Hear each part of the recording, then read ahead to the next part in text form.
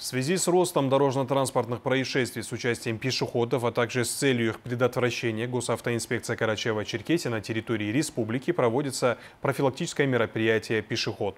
К акции привлечено максимальное число пеших и мобильных нарядов. О значимости темы расскажет Альбина Ламкова. Посмотрел на светофор, зеленый свет загорелся, пошел. Главное, чтобы проезжающих автомашин не было, правильно?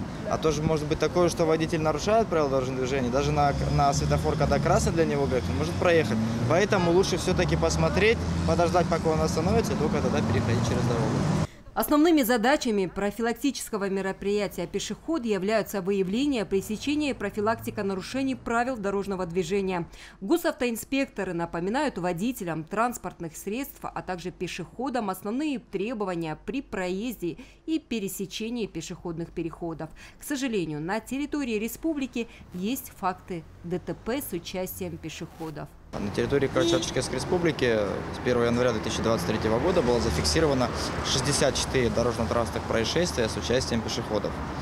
А, в них, а, в 23 случаях из них виновниками ДТП являлись именно пешеходы. Если мы берем пострадавших, а, в общей сложности пострадало 40 пешеходов за вот эти вот 60, в этих 64 дорожно-транспортных происшествиях. Вот. И имеются, к сожалению, 4 случаи, когда у нас э, пешеход погибал, вот, и в том числе есть один ребенок совершеннолетний, который перебегал через дорогу. Для того, чтобы полноценно усвоить правила безопасного поведения на дороге, ребенку мало их выучить. Он должен видеть, как они действуют в реальной жизни, видеть и положительный пример взрослых. Э, у меня пять детей. Э, детям мы объясняем, что надо переходить дорогу только на зеленый свет, чтобы они всегда оглядывались по сторонам и не находились возле дороги. Вот, потому что это очень опасно для жизни. Не надо идти в красный цвет, надо идти только в зеленый. В желтый надо готовиться идти, надо всегда оглядываться по сторонам. И на дорогу нельзя выходить. Камилочка, а если нет светофора, ну тебе нужно перейти через дорогу, как ты это сделаешь? Я ищу зебру и перехожу. Сначала оглядываюсь по сторонам и перехожу.